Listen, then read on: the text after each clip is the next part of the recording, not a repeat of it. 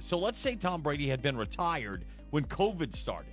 He would be the guy that didn't pack on pounds, right? Well, I was just looking here. According to Health Day, nearly half of adults in the United States piled on excess pounds during the first year. Of Near- course. Nearly half.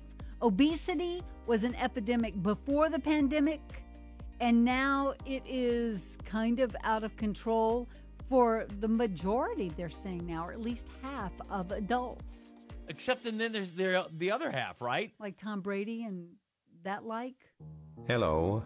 I am that person who lost weight during the pandemic. See? I sincerely apologize for not packing on the pounds like everybody else.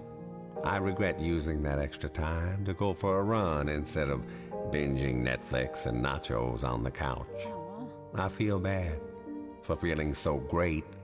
While you were shopping online for another pair of sweatpants, I was happily squeezing into my new skinny jeans and telling you it's just about moderation. Sorry about that. Maybe this year you'll finally lose those pandemic pounds. I mean, if I can do it, anybody can. Hmm, Maybe. Apologetically yours. That person who lost weight during the pandemic. The Big Morning Show with Fast and Renee, only on Big 102.1.